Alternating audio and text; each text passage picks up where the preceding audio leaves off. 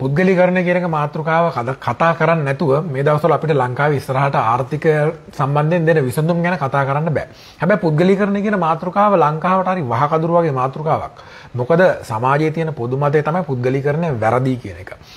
ආ, ඇයි එහෙම වෙලා තියෙන්නේ? අපි බලමු මේ පුද්ගලිකරණය ගැන මේ දවස්වල කතා කරන්නේ නැතුව අපිට ඉස්සරහට යන්න අමාරු හින්දා ඒකේ සමහර දේවල් අපි පැහැදිලි කරගෙන යන එක හොඳයි. ඔය පුද්ගලීකරණය කියන වචනයට ගොඩක් අය අකමැති මේ පොදු දෙයක් පුද්ගලික කියන තත්ත්වයට පත් කරන එක. පොදු කිව්වම අපි හැමෝටම අයිති වගේ හැඟීමක් එනවා. පුද්ගලිකයි කිව්වහම නිකන් මේ කාට හරි තනි පුද්ගලයෙකුට හෝ න- නිකන් නැත්තම් සමාගමකට හෝ කෙනෙකුට අයිති කියන හැඟීම එනවනේ. ඔය ඔතන තමයි ඔය ගැටලුව ඇති වෙන්නේ. මොකද පොදු දෙයක් කාට හරි කීප දෙනෙකුගේ වාසියට දෙනවා වගේ හැඟීමක් පුද්ගලික කියන අදහසෙන් එන හින්දා පුද්ගලීකරණය කරනවා කිව්වහම පොදු දේපලක් කීප දෙනෙකුට පාවිච්චි කරන මට්ටමකට පත් කරනවාගේ අදහසක් එන හින්දා තමයි මිනිස්සු ගොඩක් වෙලාවට ඔකට අකමැති. හැබැයි පුද්ගලීකරණය කියන මාතෘකාව අපේ රටේ අද කතා නොකර බැරි වෙලා තියෙන දෙයක් බවට පත් වෙලා තියෙනවා. ඒක පුද්ගලීකරණය කියන වචනය හැර වෙන වචන මේකට පාවිච්චි කරන්න පෙළඹිලා තියෙනවා. දැන් අපිට එන්නේ රාජ්‍ය ආයතන ප්‍රතිව්‍යුහගත කිරීම. නැත්නම් රිෆෝම් කරනවා කියලා. රීස්ට්‍රක්චර් කරනවා රිෆෝම් කරනවා ඒ වගේ වෙනත් වචන වලින් ඇහෙන්නෙත් මේකම තමයි මොකද අර අර වචනේ ගණ්ඩ දෙයක් නැති මට්ටමටම ජනතාවගෙන් ප්‍රතික්ෂේප වෙලා හින්දා දැන් අපි ගත්තොත් සහෝදරය කියලා කාටවත් කතා කරන්න බැරි මේ මොකද ජීවි කාර්යයේදී කියලා අහනවානේ. යහපාලනය කියලා කියන්න බෑ. ගිය පාර ආණ්ඩුවට සම්බන්ධ කෙනෙක්ද කියලා අහනවා. සහජීවන ගැන කතා කරන්න බෑ. ඒ වගේ ප්‍රශ්න තියෙන සමහර වචන ලංකාවේ පාවිච්චි කරන්න බැරි වචන බවට පත් වෙලා තියෙනවා.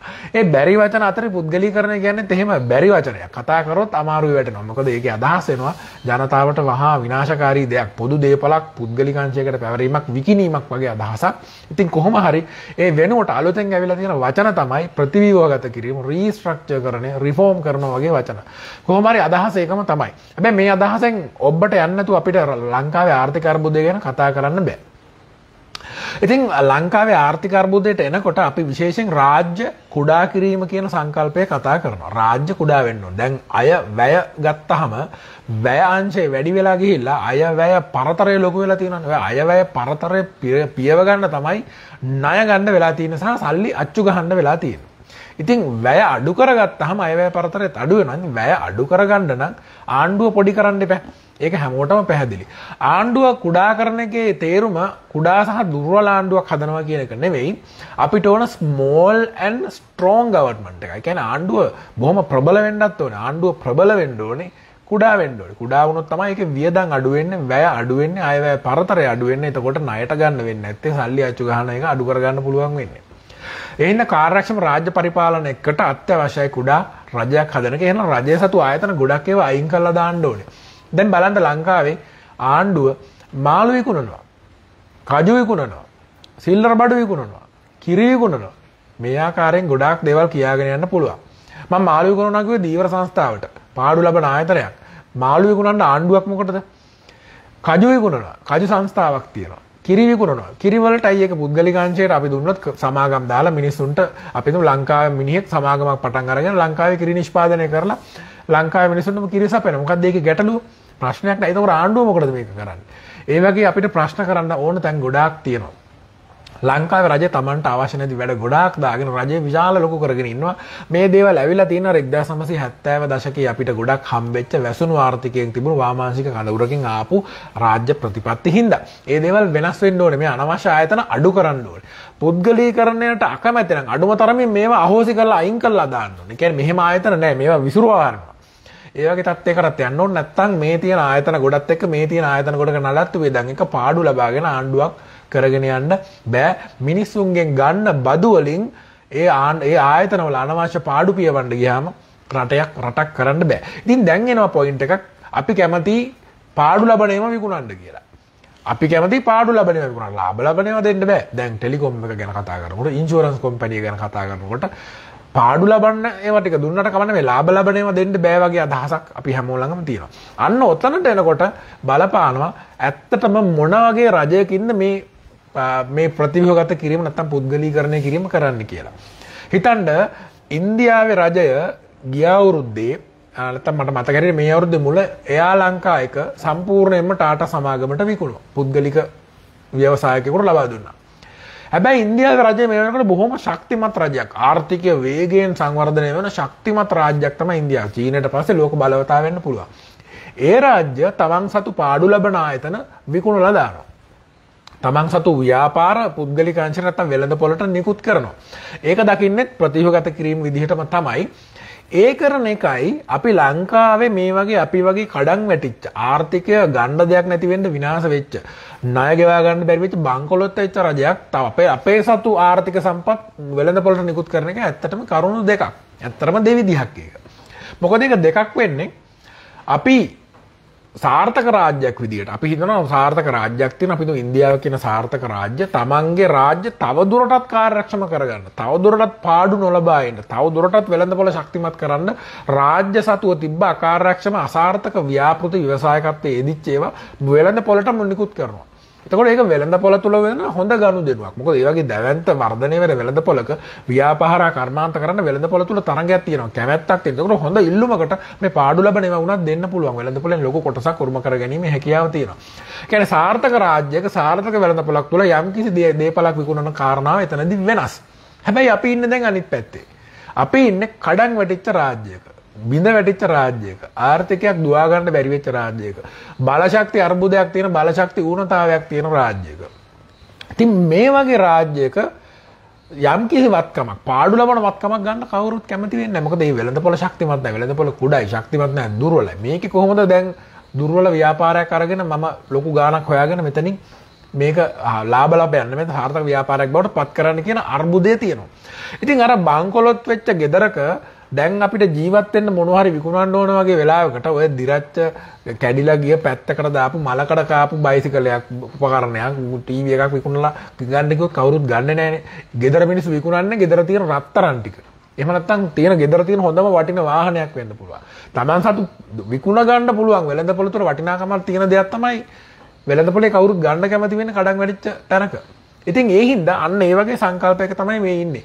ඒ කියන්නේ මේ වෙලාවේ රටේ තියෙන පාඩු ලබන කාටවත් වැඩක් නැති ගරා වැටිච්ච වෙළඳ පොළට නුසුදුසු නොගැලපෙන ආයතන මිලදී ගන්න වෙළඳ පොලේ කවුරුත් නැහැ. ගත්තත් ඒවා කුණු කොල්ලට පොඩි ගානකට දෙන්න පුළුවන් වෙයි. එහෙනම් මේ වෙලාවේ වෙළඳ පොළ තුල විකුණන්න පුළුවන් වෙන්නේ වටිනාකමක් තියෙන ලාභයක් උපයන දේවල්. අන්න ඒ හින්දා තමයි ඒව ගන්න කට්ටිය ඉන්න හින්දා තමයි මේ දවස්වල ටෙලිකොම් එක විකුණන එක, ඉන්ෂුරන්ස් කම්පැනි විකුණන එක, ඉලෙක්ට්‍රිසිටි බෝඩ් එක, ඒ වගේ වටිනා දේවල්, වටිනා වැලියු එකක් තියෙන දේවල් විකුණන්න කතා වෙන්නේ. අනිත් කාරණේ තමයි සාර්ථක රාජ්‍යයක් Taman සතු පාඩු ලබන දේවල් විකුණලා බලාපොරොත්තු වෙන්නේ ඒවැ බරෙන් නිදහස් වෙන්න. මේ බරයි. පාඩු ලබලව අරන් යන්න බෑ. වෙළඳපොළ තුළ මේක කාර්යක්ෂම කරන්න පුළුවන්. මේක හොඳට කරන්න පුළුවන්. එහෙනම් මේවෙන් අපි නිදහස් වෙන්න ඕනේ කියන අරමුණෙන් තමයි ඒවා විකුණන්නේ. හැබැයි දැන් අපේ රාජ්‍ය මේ පාඩු ලබන ඒවා විකුණන්න නිදහස් වෙන්න පුළුවන් ඒවා ගන්න කෙනෙක් නැහනේ. හැබැයි අපිට දැන් මේක විකුණ ගන්න ඕන වෙලා තියෙන්නේ අපිට ජීවත් වෙන්න සල්ලි නැති හින්දා. කන්න බොන්න සල්ලි නැති හින්දා. තෙල් ගෙන්න ගන්න සල්ලි නැති හින්දා. රට පවත්වාගෙන යන්න සල්ලි නැති හින්දා තමයි විකුණ ගන්න වෙලා තියෙන්නේ. අන්න එතකොට අපි මේවා විකුණ ගන්න ඩෙස්පරේට්. අපිට වෙන කරන්න දෙයක් නැහැ. ඔප්ෂන් එකක් නැහැ. විකුණන්න වෙන තත්ත්වයට ඇවිල්ලා තියෙනවා. අන්න ඒ හින්දා අර ඇගෙන් කෑල්ලක් යනවා වගේ අපි සතු වටිනාම දෙයක් තමයි දෙන්නේ. දැන් මිනිස්සු රත්තරන් බඩු විකුණන්නේ ඇඟේ අමාරුවෙන් අර මගුල් මුද්ද විකුණන්නේ, දාගෙන ඉන්න මාළේ විකුණන්නේ. කරගන්න දෙයක් නැතිව බංකොලොත් වල අසරණ වෙලා ඉතින් Taman සතු දේපල විකුණලා දානවා. ආ ආස කරන වාහනේ විකුණන්නේ, පරම්පරාවෙන් ආපු ඉඩමක් විකුණන්නේ. ආන්න ඒ වගේ අසරණ වෙච්ච තැනක තමයි අපි ඉන්නේ. මොකද අපිට මේ වෙලාවේ සල්ලි ඕනේ ජීවත් වෙන්න. ඉතින් මේ මේ වෙලාවේ වෙන පුද්ගලීකරණය අර සාර්ථක රටක වෙන රාජ්‍ය කුඩා කර ගැනීමට රාජ්‍ය කාර්යක්ෂම කර ගැනීමට පාඩු ලබන ආයතනවල බරෙන් නිදහස් වෙන්න පුද්ගලීකරණය නෙවෙයි. මේ වෙලාවේ අපි දකින්නේ මේ ජාම ගැට ගහගන්න ජීවත් වෙන්න මේක කොහොම හරි ආර්ථික අර්බුදය ඇතුලෙන් යන්න පුළුවන් වෙන්න යමක් විකුණා ගැනීම. අන්න එතකොට එතකොට විකුණන්න වෙන්නේ ලාභ ලබන ඒවා.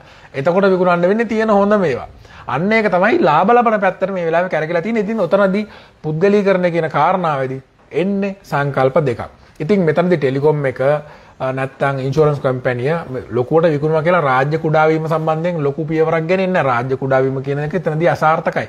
මොකද පුංචි පුංචි සමාගම් දෙකක් රජයේ ලොකු එකට සාපේක්ෂව බැලුවාම ඉතින් කොහොම වුණත් රජය කුඩා කිරීමේදී මේ රාජ්‍ය සතු දේවල් ගොඩක් වෙළඳපොළට නිකුත් කරන්න ඕනේ. එහෙම විකුණු කරන්න බැරි ඒවා අහෝසි කරලා අයින් කරලා ඩිසෝල් කරලා කැන්සල් කරලා දාන්න වෙනවා. රාජ්‍ය කුඩා කරන්න වෙන්නේ එහෙමයි. එහෙම තමයි කාර්යක්ෂමතාවය හදන්න වෙන්නේ. රට හදන්න ඕනම කෙනෙකුට ඉස්සරහට ඒක කරන්න වෙනවා. ඒ වගේම මේ වෙලාවේ අපි කොච්චර අකමැති වුණත් කවුරු ජනාධිපති වුණත් කවුරු බලේ හිටියත් ඒක හැම කෙනෙකුටම මේක කරගෙන යන්න සල්ලි ඕනේ. ඒක කරන්න වෙන්නේ අපි සතු යම් කිසි වටිනා දෙයක් උගසට තියලා විකුණලා. ඒක තමයි මේ වෙලාවේ ලොකුම ලොකුම දේවල් වලට ලාන්සු තියන්නේ ලොකුම ලොකුම දේවල් විකුණන්න කතා කරන්නේ. ඉතින් ඕක ඇත්තටම කරුණු දෙකක්. ඒ වගේම ජනතාව මේවට අකමැති වෙන හේතුවකුත් තියෙනවා. මොකද ජනතාවට මේ දේවල් තාම කරන්න දෙන්න ඉඩ දෙන්න සිද්ධ වෙලා තියෙන්නේ මේ රට බංකොලොත් කරෝපු මේ රට වංචා දූෂණ වලින් විනාශ කරෝපු මේ ආර්ථික තුල සම්පූර්ණ වැරදි ආර්ථික වැඩපිළිවෙලක් ගෙනියලා රට මේ තත්ත්වයට පත් කරපු හොරාකාපු දේශපාලකයන්ට තමයි ඒක කරන්න දීලා බලන් ඉඳලා තියෙන්නේ. ඒක හරියට නිකන් අර නරින්ට කුකුල්ලු බාර දුන්නා වගේනේ. ඒ කියන්නේ රටේ හොරාකාපු හොරු ටිකම රජය ආයතන නැත්තම් මේ ලාභ ලබන ආයතන ටික විකුණලා ධනය අත් කරගන්න යනවා. එතකොට ඒ ධනයවත් හරියට රටේ මේ ආර්ථික අර්බුදය විසඳන්න යොදා ගනීද කියන ලොකු ගැටලුවක් වෙනවා. ඒක පිළිබඳව කාටවත් විශ්වාසය තියෙද? නැහැ. කාටවත් මේ ඉන්න පාලකයන්ව සත පහකට විශ්වාස නැහැ. එහෙනම් එතකොට ජනතාව කවදාවත් ඒකට සහාය දෙන්නේ ඇයි? මේ දේ කරන්නේ හොරු නම්. මේ කරන හොරු දැන් අපි හිතමු ටෙලිකොම් එකට යම්කිසි මුදලක් තීරණය වෙනවා කියලා. ඒක ඇත්තට මේ ගානද කියලා මිනිස්සුන්ට විශ්වාස නැහැ. සැකයි. ඇයි බොරු ගානක කියලා ඒකේ අරාමතර වෙන ගානෙන් කොටසක් තමන්ගේ ළඟට අරගෙන ඒකෙන් කොමිස් ගාලා මේ විදිහට ඒ ගනුදෙනුවනුත් හොරාකයි. ඒ ගන්න මුදලනුත් හොරාකයි. කියන ගැටලු තියනකං මිනිස්සුන්ට විශ්වාසයක් නෑ මේ පුද්ගලීකරණය කරලා රජය සතු දේපල විකුණලා ලබාගන්න මුදල නිවැරදිව රටේ ආර්ථික අර්බුදය විසඳන්න යොදාගන්න පුළුවන් වේද කියලා. ඔන්න ඕක තමයි පුද්ගලීකරණයේ තියෙන වෙනස්කම් මේ වෙලාවේ. ඒ කියන්නේ පුද්ගලීකරණය හැමදාම තමයි ප්‍රතිගත කිරීම කරන්නේ ඉන්න පල්හොරු ටිකමයි. එතකොට ඒවට ජනතාවට විශ්වාසයක් අවදාවත් ගොඩ නැගින්නේ නැහැ. දෙවැනි කාරණාව තමයි මේක මේ සාර්ථක රාජ්‍යයක් බරාඩු කරගන්න තමන්ගේ වෙළඳපොළ කාර්යක්ෂම කරන්න මේක කරනවා නෙවෙයි මේක ජීවත් වෙන්න සල්ලි හොයාගන්න කරන පුද්ගලීකරණයක්. ඒ හින්දායි අර ලාභ ලබන ඒවට ඇහැ ගහන්නේ මුලින්ම ඒවට ලංචු වෙන්නේ. කඩාගෙන වැටිච්ච රාජ්‍යවල ලෝකෙ බැලුවොත් මේ වගේ ආර්ථික අහේනි වලට ගිය රාජ්‍යයන් වලට අර ගිජුලිහිනියෝ මැරිච්ච මලකුණු වලින් මස් වැදලි කඩාගෙන කනවා වගේ අපි වගේ රාජ්‍යයක සම්පත් හොරා ගන්න එකම තමයි වෙලා තියෙන්නේ. ඉතින් කොහොමත් අපි බංකොලොත් වෙලා නම් ඒ බංකොලොත් වෙන්න හේතුව කලින් ගත්ත ණය නම් කලින් ගත්ත ණය දැන් ගෙවා ගන්න බැරි නම් ඒවා ගෙවීමේ වගකීම තියෙන්නේ මේ රටේ ඉන්න මිනිසුන්ටම අපිටම තමයි. එහෙනම් මේ රටේ ඉන්න මිනිසුන්ගෙන්ම තමයි යම් දේවල් සින්න වෙන්නේ. ඒ ණය ගෙවීම වෙනුවෙන්. මේ රටේ ඉන්න මිනිසුන්ටම අයිති දේවල් වලින් තමයි කොටසක් අහිමි වෙන්නේ. ඒ ණය ගෙවීම සහ රටේ ආර්ථික අර්බුදයෙන් ඉස්සරහට එන හින්දා අපි හැමෝටම යම්කිසි කැපකිරීමක් බාර ගන්න වෙනවා. යම්කිසි කැපකිරීමක් පිළිගන්න වෙනවා. යම්කිසි දේවල් ඉවසගෙන ඉන්න වෙනවා. මේක අපි සතු සියලු දේපල අපි සතු සියලු දේපල උගසට නොතිය අපි සතු සියලු සම්පට්ටික පරිසං කරගෙන මේ බංකොලොත් භාවයෙන් ගොඩ එන්න බෑ සමහර දේවල් කැප කරන්න වේ. හැබැයි ඒ කැප කරන්නවා නම් ඒ කැප කරාට පස්සේ ආර්ථික අර්බුදයෙන් ගොඩ ඇවිල්ලා අපි යම්කිසි ධනයක් උත්පාදනය කරලා රට සුඛිත මුඛිත කරන්න පුළුවන් ආර්ථික යාන්ත්‍රණයකට ආර්ථිකය හැදෙන තැනකට රට හැදෙන තැනකට ධනය ජනිත වෙන තැනකට මේ දේවල් පත් කරන්න ඕනේ. එහෙම හැකියාවක් ලැබුණොත් විතරයි අපිට මේ දේවල් යම් කිසි දේවල් කැප කරන එකේ වටිනාකමක් ඇත්තටම ඒකේ යම් කිසි දේවල් කැප කරන එකේ හරිම වැලියු එක හම්බෙන්නේ. ඉතින් හිතන්න ටෙලිකොම් එක අපි විකුණගෙන කාලා, ඉන්ෂුරන්ස් කම්පැනි විකුණගෙන කාලා, ඉලෙක්ට්‍රිසිටි බෝඩ් එක විකුණගෙන කාලා. අපි ආර්ථික අර්බුදය විසඳගත්තේ නැත්තම්. දැන් ආර්ථික අර්බුදය විසඳන්න ඉන්නේ ආර්ථික අර්බුදය හදපු මිනිස්සු ටිකමනේ. ආර්ථික අර්බුදය හදපු මිනිස්සු ටිකමයි ආයේ ඉන්නේ. අපි ඒ අයකට ආයි සල්ලි ටිකක් දීලා කියනවා. මේ ටික විකුණලා සල්ලි ටිකක් දීලා කියනවා මේක විසඳහල්ලා කියලා. ඒක තේරුම තමයි මේ දේශපාලන ප්‍රතිසංස්කරණ වෙන්නේ නැතු දේශපාලන ක්‍රමයේ වෙනසක් වෙන්නේ නැතුව අපි මේ පුද්ගලීකරණය කරන එක මේ වෙලාවේ කරාට පස්සේ වෙන්නේ ඒකෙන් උපයා ගන්න ධනයත් අර කරපු වංචා දූෂණ වලටම යට වුණාට පස්සේ රට මේ වගේ තැනකට ආයෙ ඇවිල්ලා හිර වෙනවා. රට මේ වගේ තැනකට තව මාස 6කින් අවුරුද්දකින් ආයෙ ඇවිල්ලා හිර වෙනකොට දැන් විකුණන්න ඒවත් නැහැ. ටෙලිකොම් එක කලින් විකුණලා කෑවා. ඉන්ෂුරන්ස් එක කලින් විකුණලා දුන්නා. ඔන්න ඉලෙක්ට්‍රිසිටි බෝඩ් එකත් වෙන කලින් විකුණලා කෑවා කියමු. අන්න එතකොට දැන් ආයි තව මාස 6කින් විතර මේ තත්ත්වෙම ඇති වෙන්නේ. මේ අර්බුදේම ඇති වෙන්නේ. එදාට විකුණ ගන්න ඒවත් නැහැ. එදාට අපිට මොකද්ද වෙන්නේ? ආන්න අන්න එහෙම තමයි රටවල් අන්ත අසරණ තත්ත්වයට පත් වෙන්නේ. එතකොට දෙන්න වෙනවා තව ඒවා. එතකොට වරායක් දෙන්න වෙනවා. ආ ඊට පස්සේ අන්න කලින්ජ තෙල් සංස්ථාවක් දෙන්න වෙනවා.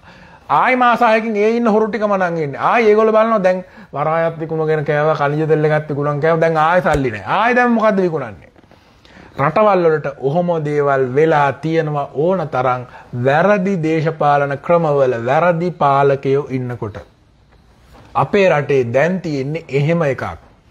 ඒ හින්දා මේ දේශපාලන ක්‍රමය වෙනස් කරනකම් ආර්ථික අර්බුදයෙන් ගොඩ එන්න අපිට හැකියාවක් නැහැ. ඉතින් මේ දේශපාලන ක්‍රමය වෙනස් කරන්න නම් හැමතිස්සෙම වීදි සටන් කරලා පාලකයෝ පන්නනවා කියන එක නෙමෙයි කරන්න ඕනේ. ඊළඟට ඒක ප්‍රජාතන්ත්‍රවාදීව නීත්‍යානුකූලව ව්‍යවස්ථාවට අනුකූලව අපිට ඒක කරන්න වෙන්නේ ඡන්දයකින්. ඒකින්ද ඒ ඡන්දය ඉල්ලා හිටින එක ඔබේ වගකීමක්. ඒ ඡන්දයට සූදානම් වෙන එක ඔබේ වගකීමක්. ඒ ඡන්දයට ඔය තියෙන දූෂිත කඳවුරුල් නැතුව අලුත් තැනකින් පටන් ගන්න මිනිස්සු හදාගන්න එක ඔබේ වගකීමක්. මම දකින අපිට පේන එකම විසඳුම තියෙන්නේ ඡන්දයකින් දේශපාලන ක්‍රමයකින් මේ හොර ගුහාව වෙනස් කිරීම මේ පාර්ලිමේන්තුව වෙනස් කිරීම මේ ප්‍රධාන කදවුරු ටික පාලනය කරන එක අයින් කරලා අලුත් තැනකින් පටන් අරගෙන මේ රටේ බිහිවෙන දක්ෂ සාමාන්‍ය මිනිස්සු පාර්ලිමේන්තුවට යවලා නායකත්වය බලය ලබා ගැනීම පමණයි. අන්න එදාට විශ්වාසවන්ත හදවතට සමීප නායකයෝ බිහිවෙච්ච දවසට ඒගොල්ලන්ට පුළුවන් මේ ආර්ථික අර්බුදයෙන් ගොඩ එන්න විශේෂයෙන් එදාට යම්කිසි දේවල් ඒත් කැප කරන්න වේවි. සමහර දේවල් පටන් ගන්නකොට රටේ සල්ලි නැත්තම් අපිට කවුරුත් ණයක් දෙන්න කෙනෙක් නැත්තම් අපිට සමහර දේවල් විකුණලා තමයි මුලින්ම ප්‍රාග්ධනය හොයාගන්න වෙන්නේ. අපි නේද වාහනයක් විකුණලා ව්‍යාපාරයක් පටන් ගන්නවා වගේ දේවල් කරන්නේ. ඉඩමක් විකුණලා අලුත් බිස්නස් එකක් පටන් ගන්න. ඒ වගේ සමහර දේවල් අපිට කැප කරන්න වේවි. හැබැයි ඒක එක කැපකිරීමකට පස්සේ මේක සාර්ථක කරගන්න පුළුවන් වෙළඳ පොලක් හොඳ ආර්ථිකයක් සාධාරණ රටක් හදාගත්තොත් අන්න එදාට ප්‍රශ්න ඉවරයි. එහෙනම් පුද්ගලීකරණය වේවා ප්‍රතිවගත කිරීම වේවා නැත්නම් රීස්ට්‍රක්චරින් රිෆෝම් වේවා මොන වචනේ පාවිච්චි කරත් අන්න එතනට යනකොට අපිට දේවල් කරන්න තියෙවි. අනිත් කාරණේ තමයි මේක සම්පූර්ණයෙන්ම විකුණා දැමීමෙන් තොරව වෙළඳ පොළට නිකුත් කරන්න පුළුවන්. දැන් බලන්න සාමාන්‍යයෙන් කොලම්බෝ ස්ටොක් එක්ස්චේන්ජ් එකට ගිහිල්ලා ටෙලිකොම් එකේ ශීට් එක අරගෙන එකෙන් 149යි දශම පහක්ම තියෙන රජයට ඉතුරු 148යි දශම පහෙන්ම යම් කිසි ප්‍රමාණයක් තියෙන පුද්ගලික අංශයට අනිත් ඒවා ගොඩක් ලංකාවේ බැංකු ලංකාවේ ETF එක EPF එක ඔය වගේ ගොඩක් සමාගම් වලට තියෙන්නේ. ඒ කියන්නේ මේක වෙළඳ පොළට නිකුත් කරන සමාගම් බවට රජයේ දේවල් පත් කරන්න පුළුවන්. ලාභ ලැබුවා හෝ ලාභ නොලැබුවා. එතකොට වෙළඳ පොලක් තුල වෙනම පරිපාලන ක්‍රමයකට අපි කියන පොදු සමාගම් බවට පත් කරනවා කියන එක. සමහර දේවල් ගොඩක් ඒවා පොදු සමාගම් බවට පත් කරන්න පුළුවන්. රජයට තියාගන්න පුළුවන් 150ක්. 150ට අඩුවෙන් හෝ වැඩියෙන් ඒක සාකච්ඡා කරලා. ඉතුරු ටික පුද්ගලික අංශයට නිකුත් කරන්න පුළුවන් කොටස් වශයෙන්. ටෙලිකොම් එක ඇත්තටම දැන් තියෙන ඒ වගේ තත්ත්වයක ඒක බොහොම සාර්ථක ක්‍රමයක්. සාර්ථක සමාගම් ක්‍රමයක් පොදු සමාගම් කියනවා. එතකොට ලංකාවේ ජනතාවටම සල්ලි තියෙන අයට කොහෙවත් ඉඩම් ගන්න කොහෙවත් රත්තරන් ගන්න FD දාන්න ඕනේ නැහැ. මේ සමාගම් වලම ආයෝජනය කරන්න පුළුවන්. ඉතින් ඒකත් අපි සලකා බලන්න ඕන ඔප්ෂන් එකක්. රාජ්‍ය ආයතන පවත්වා ගැනීම සහ පුද්ගලීකරණය කියන කාරණාව ගැන. ගෙඩි පිටින් 100ක් විකුණන්නෙම නැතුව යම් කිසි කොටස් වශයෙන් විකුණලා කොටස් නිකුත් කරලා මේක ජනතාවටම ඒ ධනය තමන්ටම උරුම කරගන්න. යම් රටේ කොටසකට අවස්ථාව ලබා දෙන්න පුළුවන්. ජනතාවට හොඳ ආයෝජන අවස්ථා සලසලා දෙන්න පුළුවන්. අන්න එහෙම තමයි ව්‍යාපාර කරන වෙළඳපොළ ආර්ථිකයක් සාර්ථක වෙන්නේ මිනිස්සු ධනය ජනිත කරගත්තොත් ආණ්ඩුවක් ධනය ජනිත කරගත්තොත් නෙමෙයි. ආණ්ඩුවකට ඔය ආයතන ඔක්කොම තියාගෙන ලංකාවේ ලාභ ලබන ආයතන ඔක්කොම තියාගෙන. ලංකාවේ මහ බැංකුවට මහා භාණ්ඩාගාරයට ඒගොල්ලෝ රාජ්‍ය ආදායමෙන් හදලා එවලා දීලා තියෙන්නේ 100ට දෙකයි. 100ට දෙකයි. 100ට 90ක්ම තියෙන්නේ බදු ආදායම. 100ට දෙකයි තියෙන්නේ ඔය සියලුම ආයතන වලින් ලාභයේ විදිහට ආපු ටික. ඉතින් පාඩුත් ගෙවනකොට ඒකේ තේරුමක් නැති වෙනවා. එහෙනම් මේව වෙනස් වෙන්න ඕනේ. වෙනස් වෙන ක්‍රමය වෙන විවිධයි. එහෙනම් ප්‍රතිහුගත කිරීම කරන්න වෙවි. අපේ අතින් පයින් කෑලි යනවා වගේ රටට තියෙන වටිනාම සම්පත් වත්කම් අපිට අහිමි වේවි. ඒක නවත්තන්න බෑ. අපි කොච්චර කෑ ගැහුවත් ඒව නොකර රට ජීවත් වෙන්න බෑ. හැබැයි ඒ කරන එක කරන කෙනා එකපාරක් ඒක කරලා රටේ ආර්ථික අර්බුදේ විසඳ ගන්න පුළුවන් තැනකට ඒක කරගත්තොත් විතරයි. හැබැයි මේ හොරුම ඉන්නකම් ආර්ථික අර්බුදේ විනාශ හදපු රටේ ආර්ථිකය විනාශ කරපු ආර්ථික ඝාතකයොම ඒ තියෙන ධනයත් ආය විනාශ කරනවා නම් අපිට ආය ආයකුණන්ඩ ගොඩක් දේවල් නැතිවේවි. තියෙන ටික පරිස්සං කරගෙන ඒක අදාළ වෙලාවට හොඳ ආයෝජන අවස්ථා ජනතාවට ලබා දෙන්න පොදු සමාගම් හෝ බවට පත් කළ වෙළඳ පොළට නිකුත් කළ යම් කිසි ප්‍රාග්ධනයක් උපයාගෙන ආර්ථික අර්බුදයෙන් මිදෙන්න වෙනවා. ඒක කරන්න පුළුවන් ඉක්මනට හැබැයි ඒක කරන්න ඔබ මේ දේශපාලන ක්‍රමය වෙනස් කරගන්න අපිට උදව් වෙන්න ඕනේ. හිතලා බලන්න ඔබට ජයග්‍රහී සතියන්තයක් වේවා.